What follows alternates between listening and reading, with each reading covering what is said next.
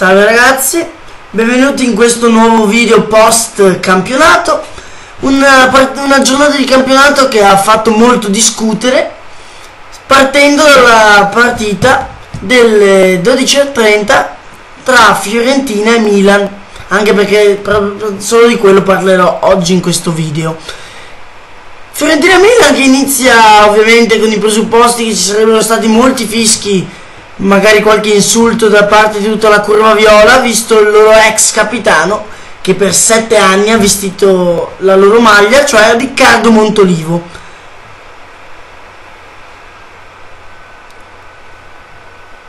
E proprio da lui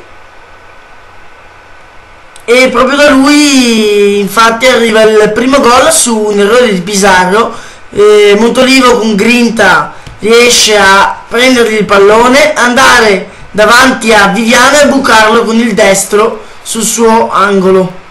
E quindi 1-0, sembra tutto normale, una partita che sembra andare sul verso giusto per il Milan. Quando arriva l'espulsione di Tomovic, ecco, secondo me all'inizio avevo gridato sì e vai, Tomovic se la meritava, però dopo riguardando bene poteva starci il giallo, però, cioè, non è che uno corre con i gomiti così alzati. Ha tirato una gomitata a Sharawi e Tagliavento ha deciso per l'espulsione. E ovviamente la Fiorentina e tutti i tifosi, non solo dei Viola, a, a gridare il Milan ruba, eccetera, eccetera. Ma tutto cambia, vabbè, nel secondo tempo arriva il gol de Mathieu Flamini sempre su assist di Montolivo sempre più ricoperto dai fischi. Sempre più ricoperto dai fischi. E poco, pochi minuti dopo su un'azione Jaic si beve tutta la difesa entra in aria e alla, così decide di buttarsi in aria dove eh, davanti a lui c'era De Sciglio e dietro Nocerino. L'arbitro Tagliavento ammonisce Nocerino invece di Jaic per simulazione e, e, e c'è il rigore. Rigore che alla fine tirerà proprio lui e centralmente batterà Abbiati. Vabbè, un rigore ingiusto che comunque non ci stava, poi stavamo giocando bene tutta la partita forse ci siamo un po' rilassati nel secondo tempo però vabbè. Pochi minuti dopo un altro rigore forse questo già più fattibile del, ehm, del precedente dove Quadrado sempre entrando dalla parte sinistra dell'area eh, viene atterrato appena però secondo me appena toccato da De Sciglio e secondo me almeno accentua un po' la caduta ma non fa niente. Ormai Tagliavento ha voglia di dare questi giudizi così vabbè quindi un altro rigore. Questa volta tira David Pizarro e col, e col destro va sull'angolo sinistro. Abbiati intuisce ma non basta. E praticamente finisce così perché dopo gli ultimi 25 minuti non c'è nulla nulla da dire se se non ci fosse questi due ultimi episodi dubbi Abate sulla fascia destra sta entrando in area e con una choke slam da campione della WWE eh, Manuel Pasqual, cioè il capitano della Fiorentina, a terra Abate. Secondo l'arbitro non è fallo. Là vabbè, eh, ho gridato come un idiota, lasciamo stare, va. E vabbè, ci sta.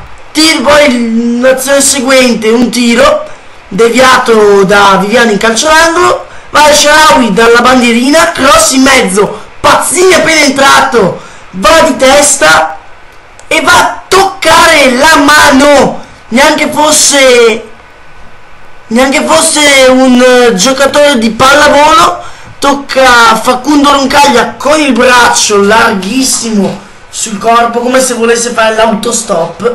Cioè così con la mano è qua e il suo corpo è, cioè la mano è, staccati, è tanto staccata dal, dal braccio dal corpo e comunque Tagliavento era proprio davanti e non dice nulla. Dopo il rinvio di Viviano e, e finisce la partita.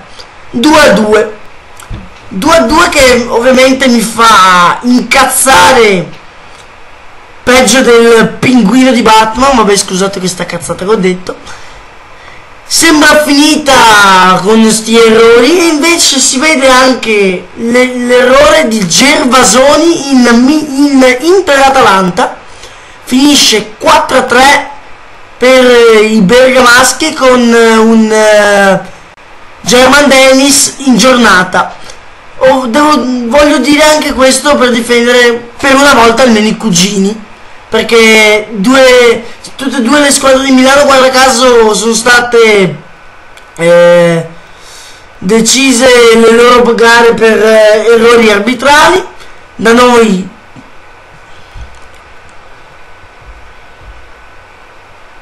da noi Tagliavento e da loro Gervasoni. Passa in vantaggio con Tommaso Rocchi rimasta l'unica punta disponibile dell'Inter perché si è anche infortunato Cassano oltre Palacio e ancora prima Milito e il pareggio di Jack Bonaventura su assist dell'ex Inter Livaia, che secondo me hanno fatto malissimo a vendere.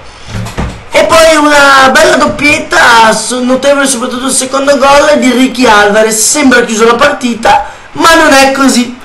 Gervasoni si inventa un fallo di Ranocchia e Dennis trasforma il 3 a 2 eh, che darà la, la, la, carica necessaria per ribaltare il risultato e portare per i bergamaschi i tratti importantissimi.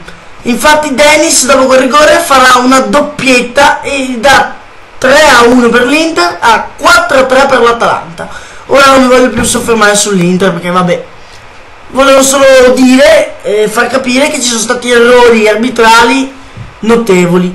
Purtroppo il Napoli a San Paolo ha vinto facilmente 2-0 contro il Genoa ha segnato Pandev e, e Zemaili che ormai ha segnato già la tripla col Toro e segna anche con il Genoa. Quindi siamo a meno 4 dal secondo posto.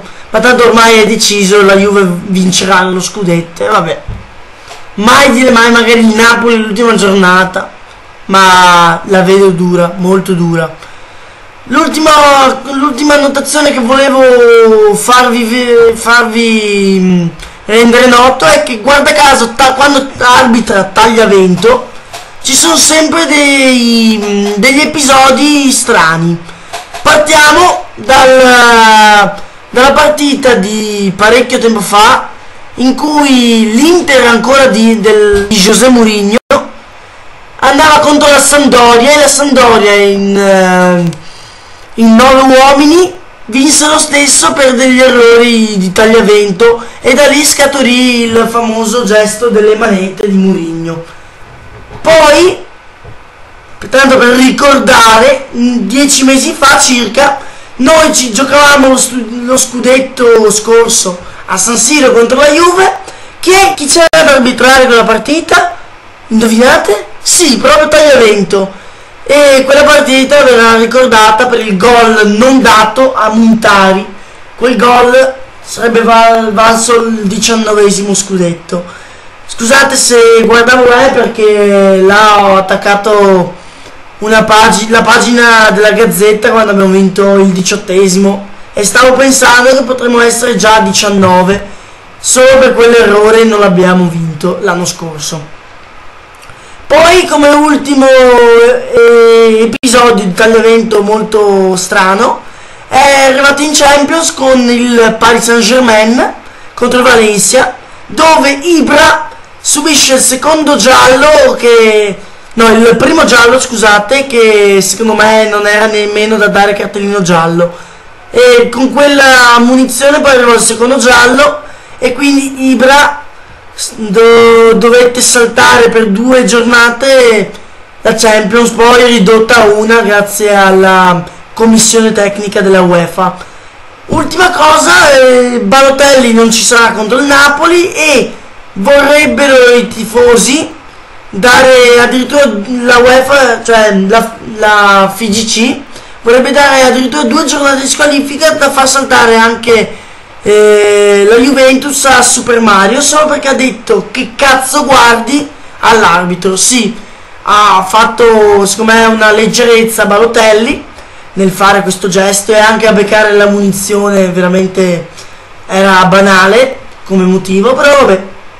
Quindi la Juve rimane prima battendo il Pescara Pietta di Vucinic. Non basta poi il bellissimo gol di Cascione. Il Napoli rimane secondo e il Milan terzo. Ora io aspetto la partita di stasera che c'è Padova Varese. Speriamo in un miracolo. Io vi saluto, vi ringrazio per aver visto anche questo video e ci vediamo al prossimo video. Ciao a tutti!